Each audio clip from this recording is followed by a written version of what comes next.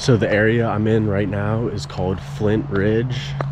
It's a giant reserve, thousands of acres, and it basically was the site where Native Americans came and they dug these giant pits out of the ground and they quarried for flint. So there's hundreds of flint quarries here in this area. And what's special about it is that it was rainbow flint. It wasn't like normal flint. It looked really cool was more valuable for trading goods and uh, making weapons and tools and all sorts of things like that. These sinkholes basically are, you know, a few thousand years old, and the Indians came here and they just they dug them out and they were searching for this flint.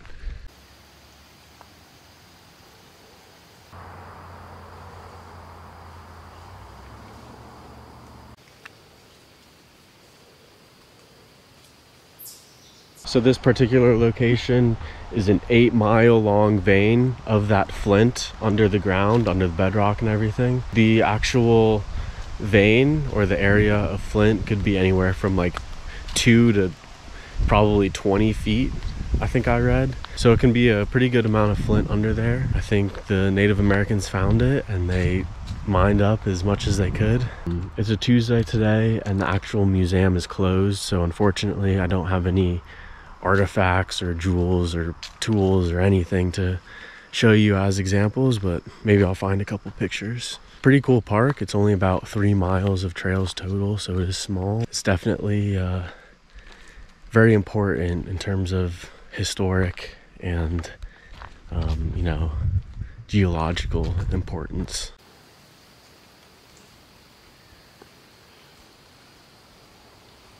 The last thing is this area is part of a larger area here in eastern Ohio that was known to be the Great Indian Quarry of Ohio.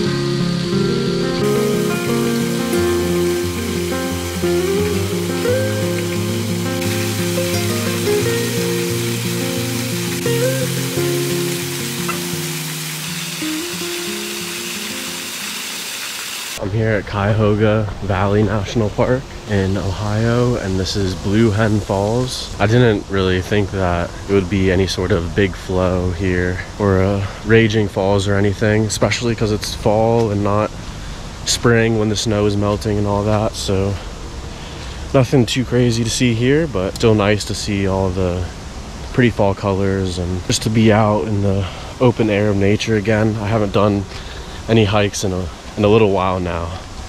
So it's nice to be out in nature and this is a, a good return hike, definitely.